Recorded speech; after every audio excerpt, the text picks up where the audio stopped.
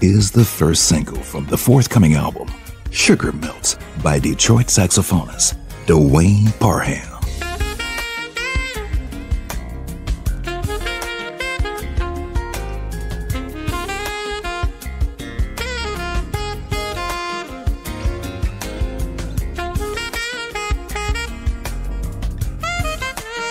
For jazz promotional services, visit goroffmusic.com.